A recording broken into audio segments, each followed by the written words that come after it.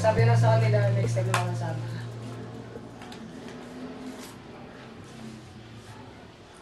Ay nga pala, Da- Darren ha.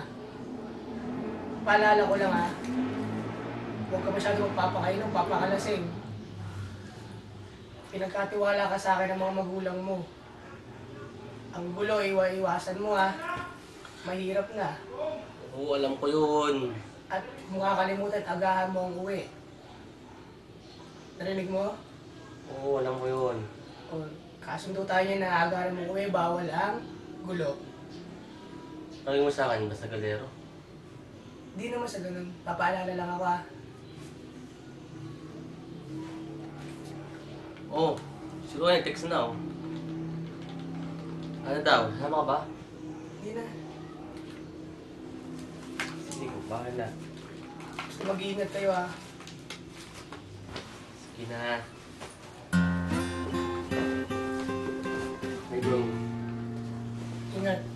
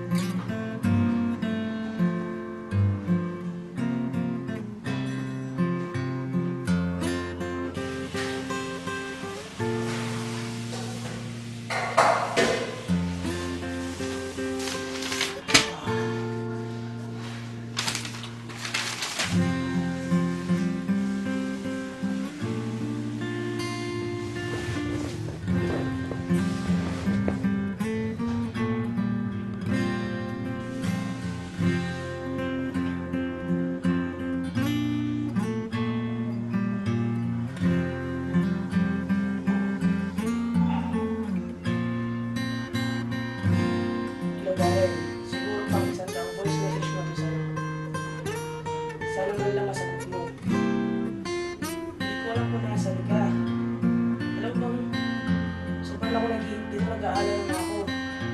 Si Narayan, si Naroy. Hindi ko sila makontak.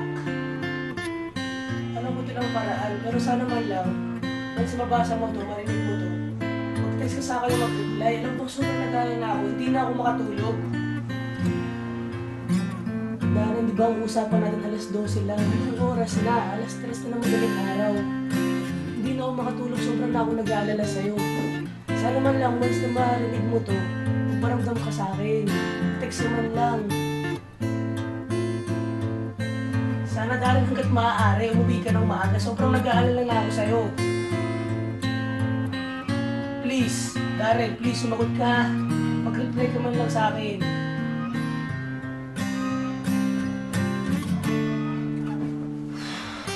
Darren, Darren, buwi ka na. Sana mali ang iniisip ko. Huwag sana sana mangyari ng nangyari sa'yo dati. Please. Please, buwi ka na. Nag-aalala na ako sa'yo.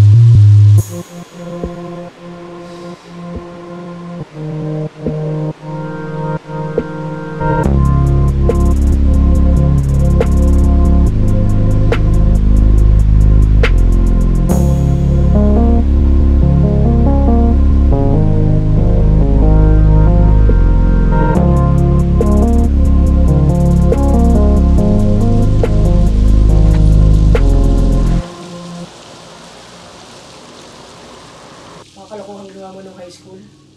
At di ba naman nandito hanggang Manila? Dinadala mo? Naalala mo yung kalokohan ginawa mo? Yung nga naman muntik ng ataking sa puso.